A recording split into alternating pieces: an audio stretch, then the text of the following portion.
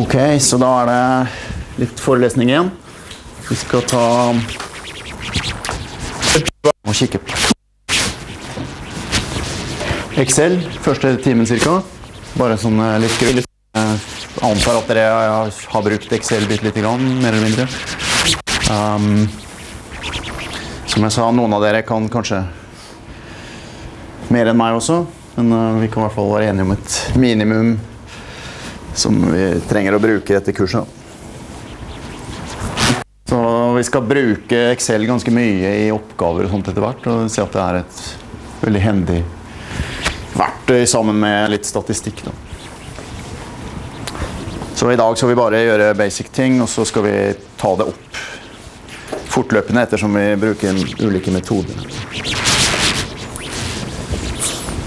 Så dere finner en eh, eksempelfil, den filen som jeg skal vise dere litt her. Den ligger også på fronter med de samme eksemplene. Heldig at det var litt kvitt her. nå.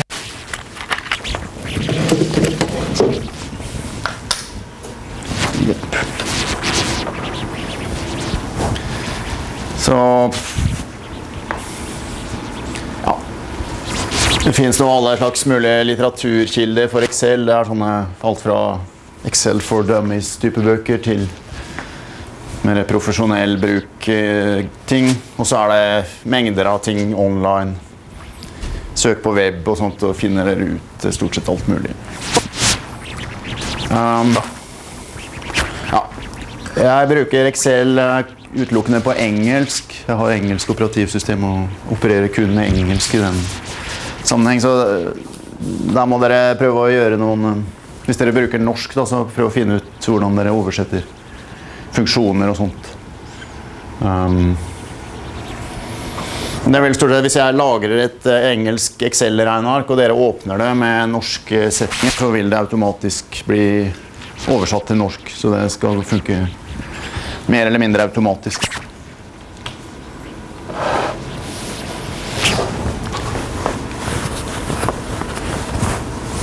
Så hvis dere har holdt på litt med Excel, så vet dere at alt handler om celler.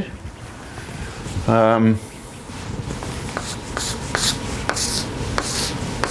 så det er stort sett nummerert bortover her med bokstaver. Og nedover her med nummer. Og så er det å sette inn tall og formler og funksjoner og sånt. Og bruke dette til å regne ut alt mulig slags ting.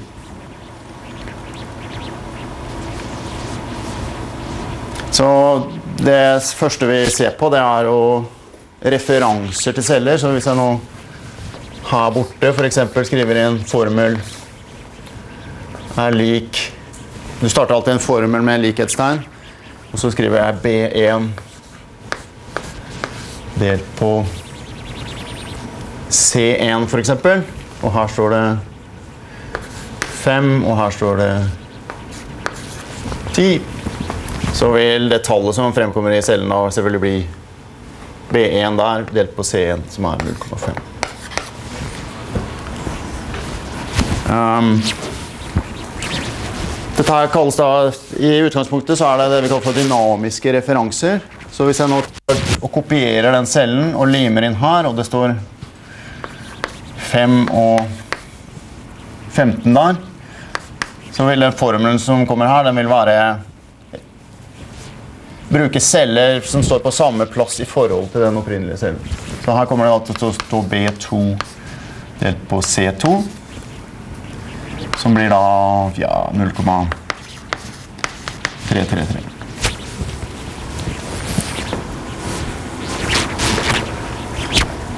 Og så har dere kanskje sett at hvis man Nå er det ikke alltid jeg ønsker at f.eks. alle fe- cellereferansene skal følge med når jeg kopierer nedover sånn. Og da kan man låse av utvalgte referanser. Så hvis du skriver f.eks. et dollartegn foran kolonnereferansen, så betyr det at eh, kolonnen holdes fast når jeg kopierer. Skriver jeg B og så dollartegn 1, så betyr det at raden holdes oss. Så hvis jeg nå satte skal vi se, Um,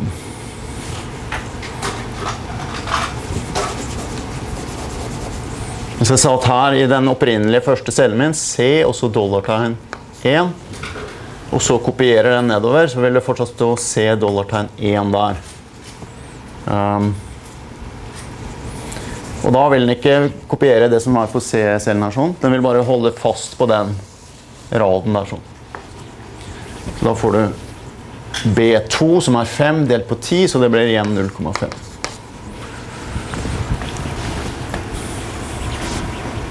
Og noen ganger så har vi lyst til å bare ha et input-tall. Vi kan ha en beregning som går for en mengde tall her, men med en input-parameter som ligger her f.eks. Da vil formelen vår inneholde en referanse som heter dollartegn A, dollartegn 1. Så den låser altså til kolonne A og rad 1. Sånn at uansett hvor jeg kopierer den formelen, så vil det stå fast.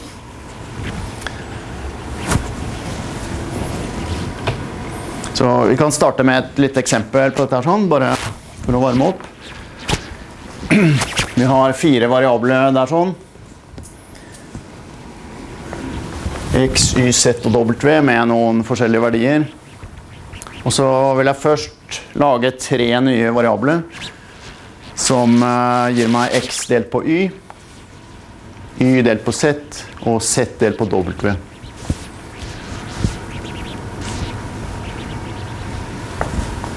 Og så etterpå så vil jeg lage et annet eksempel. Tre nye variabler som viser x delt på y, x delt på z og x delt på w.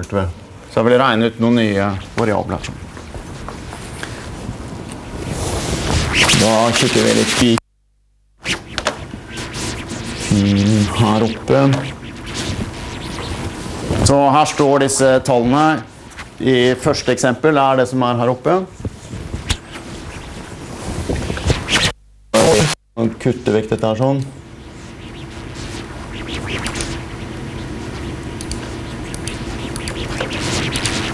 Så det som er x delt på y, da må jeg finne ut hva som er x og y. Det må da bli først et likhetstegn, og så blir det den cellen der.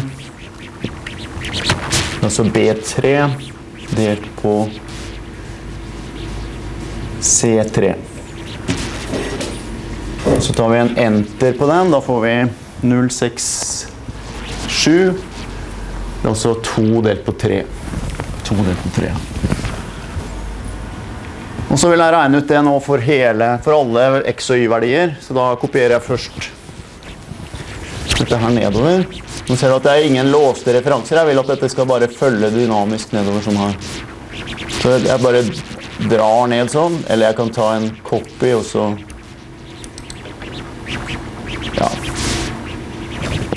Paste. Det gir samme effekten. Så hvis jeg går inn på den nederste cellen her, sånn, så ser du oppi formel området her sånn, så har den kopiert seg ned til B7 delt på C7. Så det var det jeg ville her sånn. Og så vil jeg lage en ny kolonne her sånn, Y delt på Z. Det blir jo da bare for, samme formel, men flytta referansen et trinn bortover her sånn. Så siden disse referansene er fullt dynamiske, hvis jeg bare kopierer den et trinn til høyre, så vil alle referansene også flytte seg et trinn til høyre. Så her kan jeg gjøre det direkte. Jeg kan ta dette her, copy, og så lime det inn her sånn. Så går det automatisk. Så her borte nå, så klikker på den, så ser du at den tar f.eks. de to første Z- og W-verdiene og deler på hverandre. Så det var det jeg ville. Så det er en full dynamisk referanse, hvis vi skal kalle det noe fint. Um, skal vi se. Og så er det må være litt forsiktig når man klikker når man holder på inni en celle. her. Sånn. Det pleier jeg veldig ofte å gjøre. Da blir det kult. Den skal se sånn ut. Og så er det å få pynta litt på dette. her sånn. Vi orker ikke å se på alle disse desimalene. Så da fins det en kjapp måte å gjøre det på. Det er å skru her på desimalene. Så ja, noe sånt eksempel. Alt etter behov. Eventuelt så kan du gå inn og så ta en sånn uh, format cells. Uh, og så kjøre på justere destimalene her. Så. Nå satte jeg den ned til to. Ok. Så det var det første eksempelet. Jeg lager meg x delt på y. Y delt på z og Hva for noe? Z delt på w. Neste, Det var eksempel 1. Eksempel 2. Jeg vil lage meg x delt på y. X delt på z. Og x delt på w.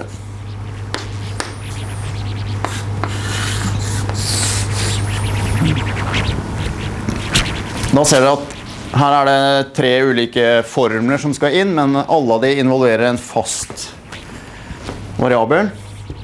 Så hvis jeg skal gjøre dette litt effektivt, så vil jeg kanskje prøve å definere først formel for den her, men å låse fast x-referansen i, i kolonnen. Så la oss se på det. Vi tar vekk det som står her.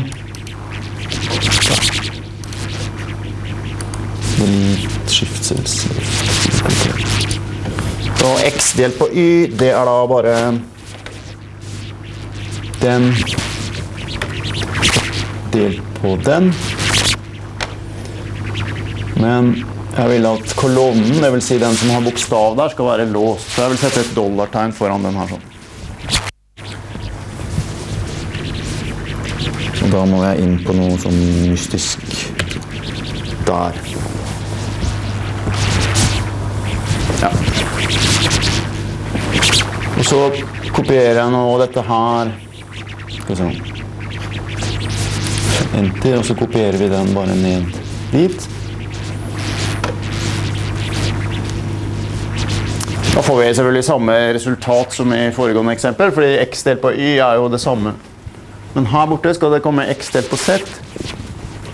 Så hvis jeg nå tar den Ja, jeg kan ta alt her sånn. Copy, og så paste hele veien. Og så kan vi se på hva skjedde her nå på den cellen, f.eks. Jo, da ser du at den holdt fast referansen til B-kolonnen, mens den flytta referansen fra C-kolonnen til D-kolonnen, fordi den var dynamisk i begge. Mens den er dynamisk i radene, sånn at uh, Her vil det stå B14, her vil det stå B15 osv. Ja.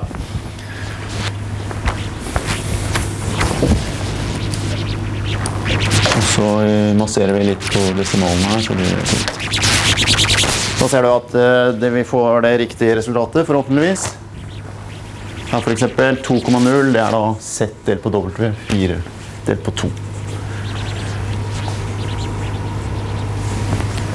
Um, noen av dere vet kanskje at det fins en sånn Hvis man gjør dette litt mye, så er man slitsomt å skrive alle disse dollartegnene. Det fins en måte å gå gjennom. Det er vel F4. Hvis jeg nå jeg markerer i den referansen som nå heter dollar B14 her sånn. Det er altså den referansen til den cellen. Hvis jeg da trykker F4 her,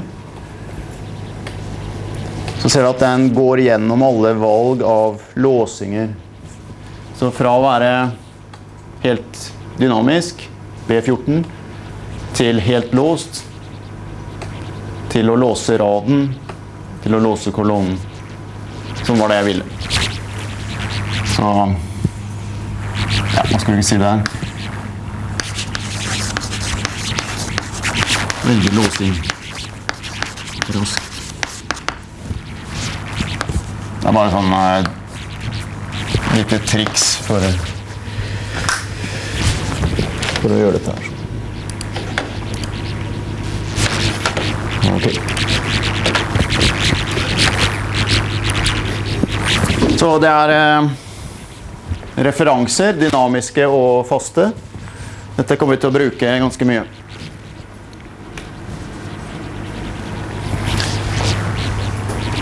Vi kan ta et annet eksempel. Vi har lyst til å lage oss en liten tabell som gir oss x i ente for en eller annen verdi som vi kan skrive inn.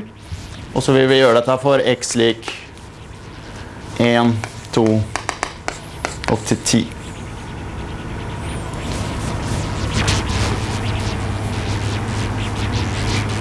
Så da kan vi se åssen vi kan gjøre det.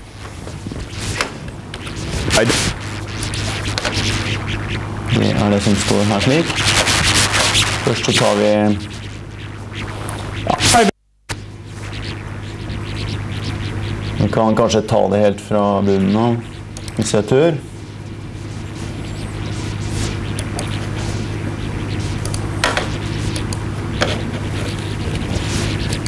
Så her skal det stå 1, 2, og så har Excel Som de fleste Microsoft-produkter prøver alltid å gjette hva du tenker. Så hvis jeg gjør sånn, og så kopierer nedover, så ser han at her står det 1, 2, 3. Da tror han at jeg vil fortsette med 4, 5, 6. Og det er noen ganger riktig, og da velger jeg det her. Ok. Her sånn så skal det stå det tallet der, opphøyd i n, som jeg kan skrive inn i denne cellen her. sånn. Så da blir det å finne den opphøyde bokstaven. Det er uh, en sånn bare. Så jeg skriver noe sånt som B24. Opphøyd i, og så skal det være opphøyd i verdien som står der. Og den verdien der, den vil jeg Når jeg går nedover her og kopierer, så vil jeg hele tiden referere til den cellen der fast. Så den kan jeg låse av fullstendig. Uh, med to dollartegn. Og da bruker jeg min lille F4-metodikk her sånn. Og får korrekt én opphøyd i åttende. Det skulle bli 8.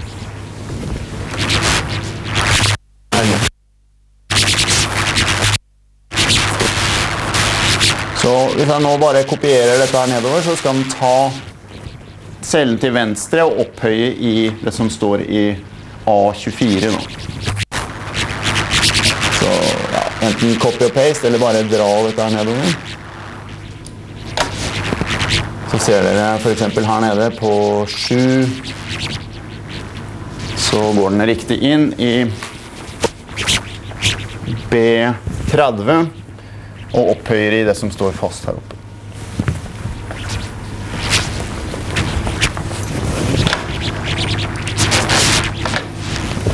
Så dette her er kjempefint hvis du vil spille litt med noen slags analyser og eksperimentere i økonomi f.eks. For med forskjellige priser og sånt noe. Og få regna ut en mengde forskjellige alternativer på en gang. Så hvis denne her nå isteden er fem så får jeg hele det resultatet der direkte.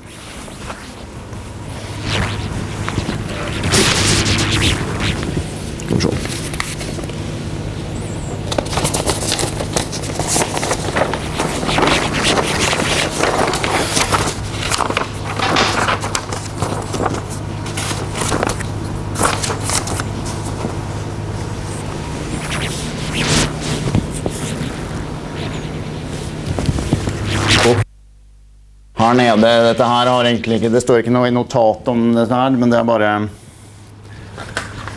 litt sannsynlighetsberegning. Hvis vi sier at uh, Molde i sine kamper har sannsynlighet for seier 0,35, uavgjort 0,3 og tap 0,35 Hva er da sannsynligheten for på et gitt antall kamper å få samme resultat f.eks. fem ganger på rad? Hvis vi sier at resultatet er uavhengig, så blir det selvfølgelig den sannsynligheten opphøyd i det tallet som står der. nå. Fordi at sannsynligheten for uavhengige hendelser det er jo bare å gange sammen. Så hvis det skjer én gang med 0,35 sannsynlighet, så skjer det to ganger på rad med 0,35 ganger 0,35. Fem ganger så blir sannsynligheten etter hvert ganske liten. F.eks. 0,35 i femte. Og så kanskje du har lyst til å regne litt og eksperimentere med dette her. La oss si at vi sparker treneren hvis han taper seks kamper på rad. Um. Hva er sannsynligheten for at uh, det skjer bare helt sånn tilfeldig hvis sannsynligheten er 0,35? Taper seks kamper på rad. Ja, det begynner å bli ganske usannsynlig. Så det er 0,0018 i sannsynlighet. Eller 0,18%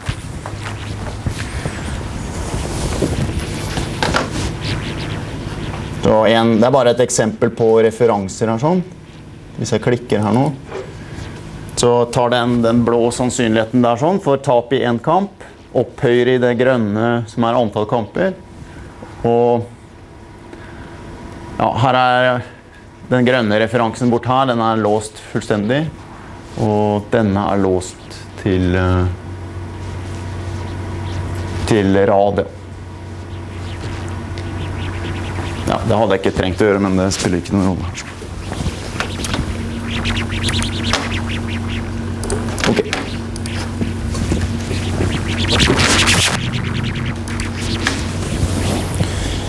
Så det var den her med x i 10, eller x opphøyd i jente.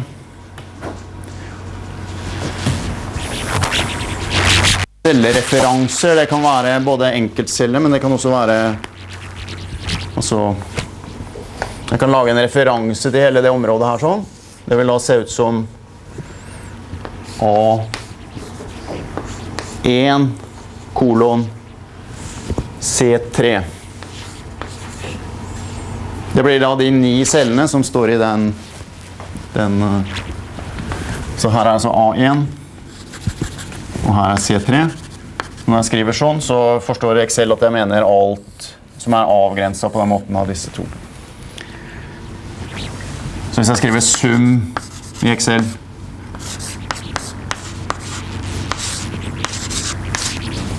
Hvis jeg skriver dette i en celle borti her sånn, så vil den ta og summere de tallene som står inni der. sånn.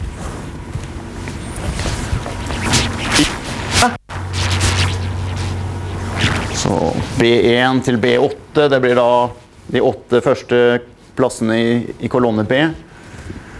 Uh, dette her blir tilsvarende dette, og C kolon C betyr hele kolonne C, uh, så langt det går. Så hvis du da tar sum C kolon C, og kolonne C ser ut som 3, 2 og så bare blanke videre nedover, så vil dette her bli 3 pluss 2, og så sier den at det er 0 det som ikke står her, eller der hvor det ikke står noe. Så det blir da 5. Så det hender at man trenger av og til en formel hvor man ikke vet akkurat hvor langt ned dataene går. Da kan man skrive noe sånt som dette.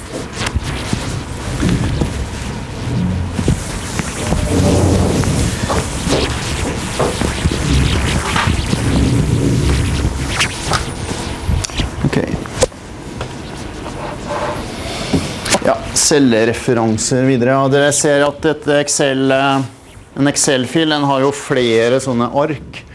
Og du kan gi arket et navn. Så det kan være f.eks. regnskap.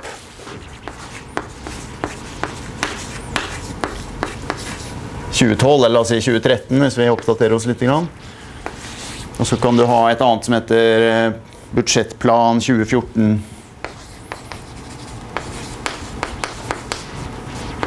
Til 2016 eller noe sånt. Og denne planen her sånn, kan f.eks. da involvere referanser til tall som ligger i dette andre arket. her sånn.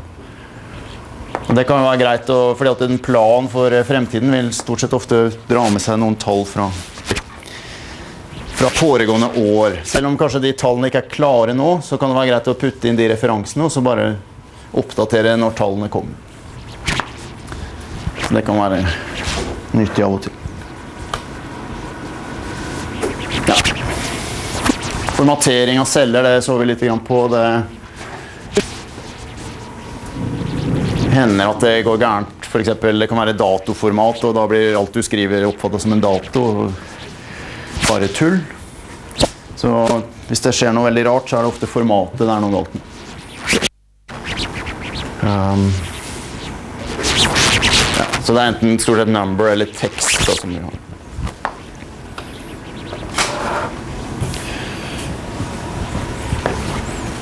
Masse innebygde funksjoner i Excel, selvfølgelig. Alle som dere kjenner til, og ganske mange som dere ikke kjenner til, sikkert. Um,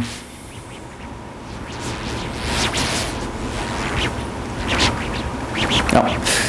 Disse notatene her var skrevet på et Excel 2007, så det er noen forandringer i funksjonsnavn. Det så vi også i forrige uke, men uh, dette her tror jeg vi finner godt ut av. Så vi ser åssen det går underveis.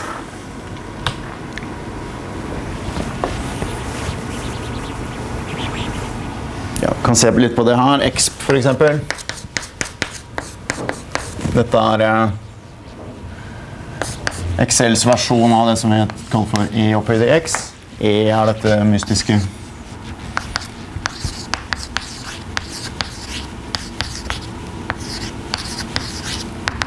desimaltallet som ser sånn ut. Grunnen til at jeg husker det, er fordi 1828 er fødselsåret til hvem? Mange, selvfølgelig. Henrik Ibsen. Så det kommer to ganger, og så kommer det flere desimaler her. Det er ikke noe viktig å vite det, men uh, vi må vite hva den funksjonen her har. Dette inngår f.eks. i Poisson-fordelingen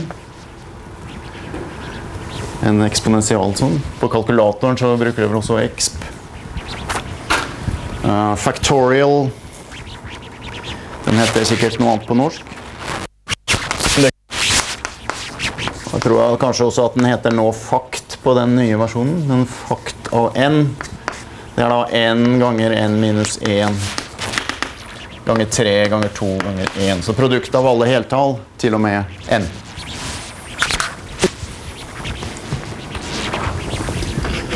for eksempel. Så her sånn er exp. Og så er referanse til den cellen her sånn, så hvis jeg skriver noe 6 isteden, så Nei, det var visst ikke referanse til den cellen, det står bare exp3. La oss forandre den.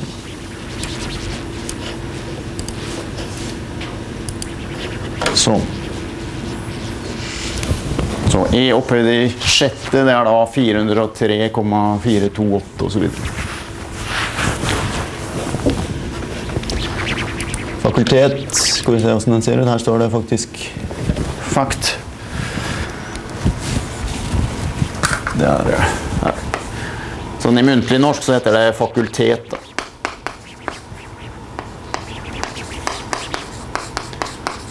Hva de har funnet på å kalle den i Excel på norsk, det vet jeg ikke riktig. Uansett så tar du bare den med referanse til cellene, kopierer nedover, og så får du en tabell over f.eks. de ti første fakultettallene. Du ser at dette vokser voldsomt fort, så Du kan jo for morsom moro skyld bare skrive 50 her eller noe sånt. Da får du noe som er av størrelsesorden 10 opphøyd i 64, dvs. Si 64 siffer. Og det er altså um, fakultet av 50. Så disse her blir veldig fort store tall.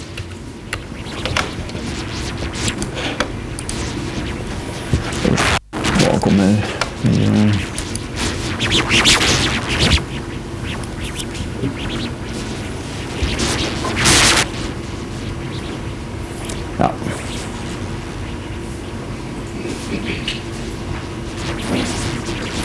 Det er noen sånne Ja, disse her bruker vi hele tiden. Sum, f.eks.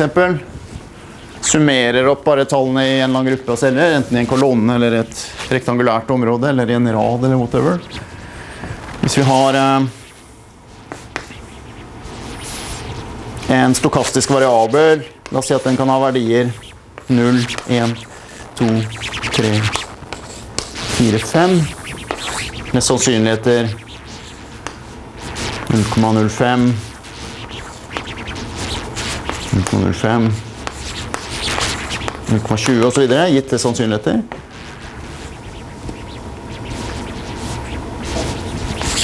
Så vet du at forventet verdi til x, teoretisk forventet verdi, regner vi ut ved å ta alle sannsynlighetene og gange med tilhørende verdi og summere. Husker fra statistikk 1. Så det er summen av xi ganger p sannsynligheten for at x er lik xi. I Excel så regner vi fort ut det som et sumprodukt av Da må vi sikkert angi kolonne 1 og kolonne 2. Så vi angir først den, og så den. Da vil den ta parvis tallene og gange sammen og summere produktene.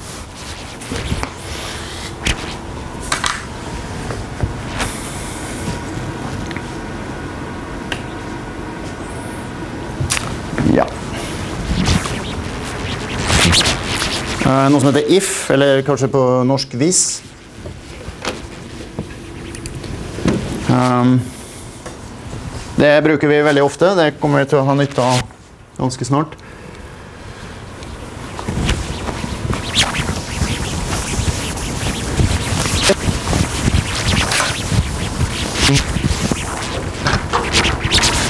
Så det tillater oss å lage en formel som er avhengig av eh, utfallet av en eller annen sånn logisk betingelse her. Sånn. Så eksempel en aksjeopsjon. Um, ja, hvis du har opsjon på å kjøpe Yara-aksje til,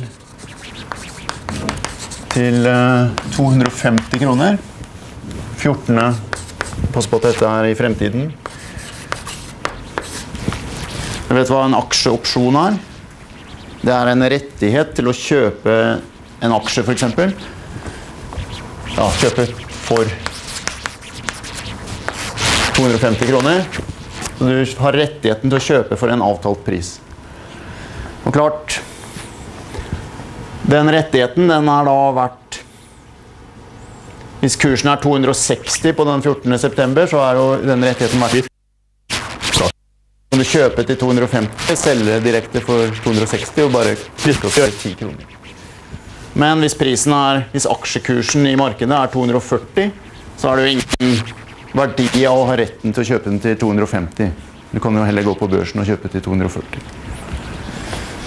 Så verdien her sånn Den er enten 250 minus X. Nei. X minus 250 millioner.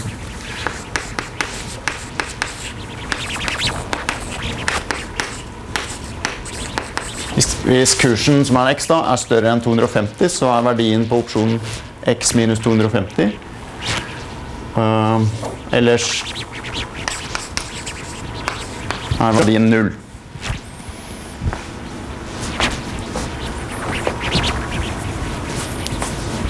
Så det er verdien på den 14. september vi snakker om da, egentlig. Hva prisen på opsjonen skal være i dag, det er jo et helt annet spørsmål. Det har med finansteori å gjøre. Så det skal vi ikke gå inn på. her. Men hvis vi bare vil lage en formel som ut fra aksjekursen 14. september gir meg verdien, så vil jeg skrive det på den måten her sånn. Og si at aksjekursen står i celle A1. Da sier jeg if A1 større enn 250 da er det den logiske betingelsen. Så hvis den er sann, så kommer det som står i første posisjon her, dvs. Si differansen. Hvis den er falsk eller usann, så kommer det som står i andre plass her, dvs. Si null.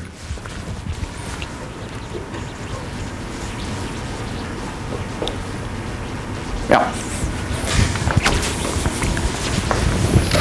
Så vi har sikkert et eksempel på noe slikt her også.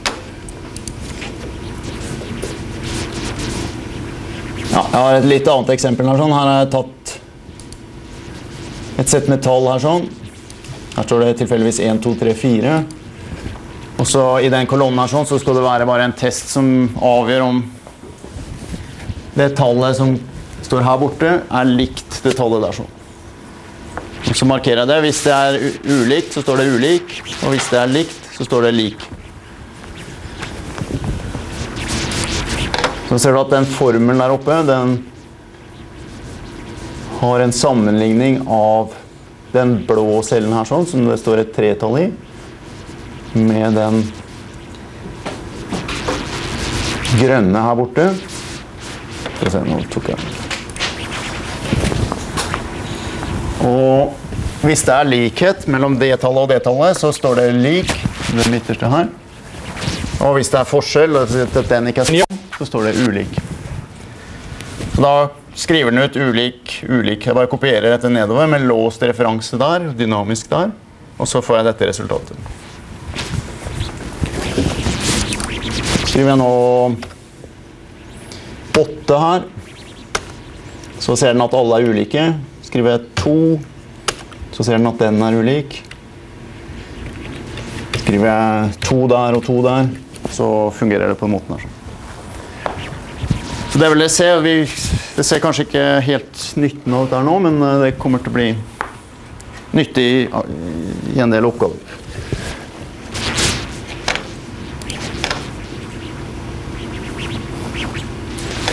Ja. Skal vi se.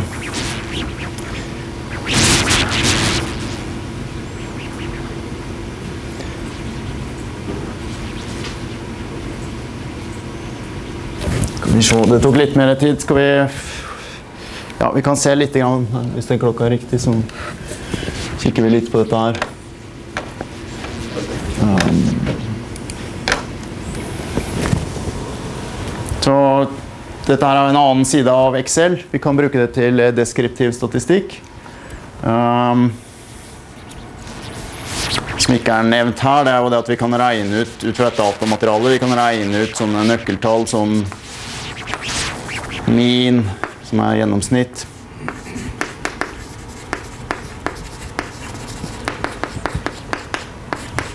Det er kalt for X-bar. Og standardavvik og sånne ting, det kan vi regne ut ut fra data. Og så er det forskjellige sånne grafiske fremstillinger vi kan lage. Søyle- og kakediagram, histogram, tidsserieplott og spredningsplott. Så du kan kanskje kikke litt på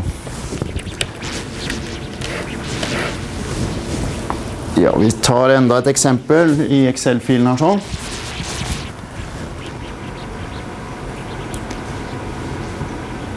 Og jeg skal gjøre det litt fra scratch, som, som vi kanskje vil gjøre det i praksis.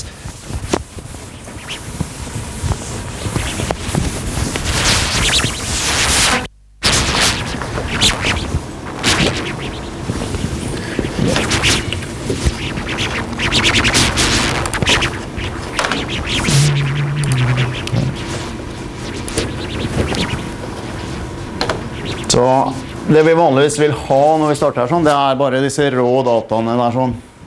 Som er eh, en slags kategorisk variabel. Den har tre, nei, fire verdier. Um,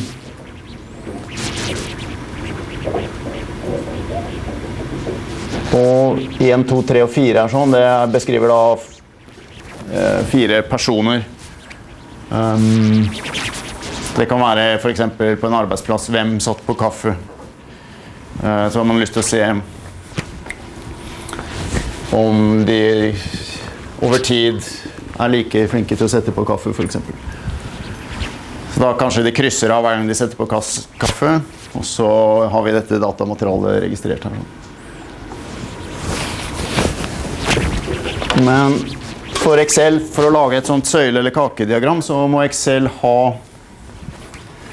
disse tallene her sånn. Så vi må telle opp hvor mange ganger Per, som var nummer én, Kari osv., satte på kaffe.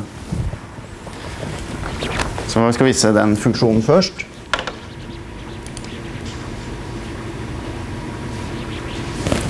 Det er noe som heter countif.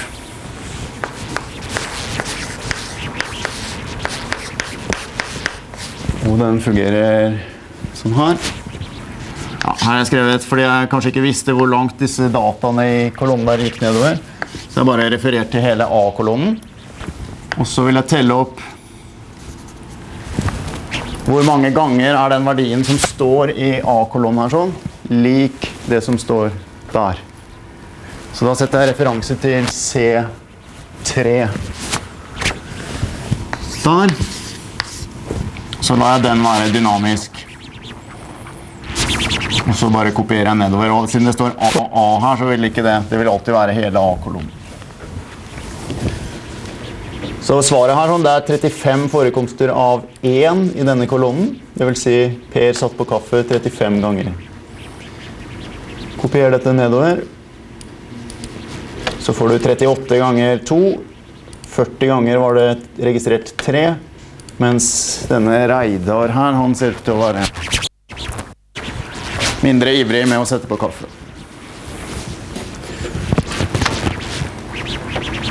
Og så kan man da nå Ja, disse her grafikktingene har dere sikkert jobba litt med. Det Skal vi se. Det funka i hvert fall dårlig.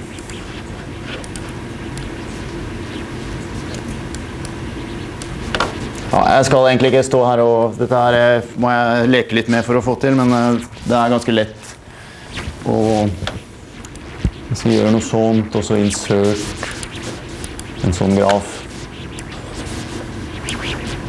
Så ser du at jeg får på det der, og så må vi leke litt her sånn med noe select data for å få på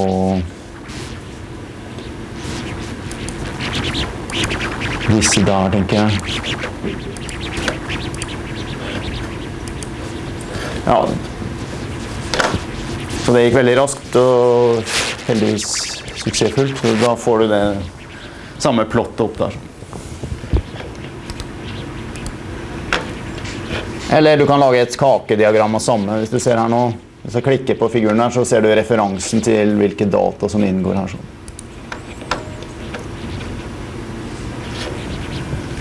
Men det som kanskje er nytt for dere eventuelt, det er vel da den opptellingen som vi gjør her sånn. Ja. Da tror jeg det passer veldig godt med 15 minutter her. Skal vi kikke litt videre etterpå.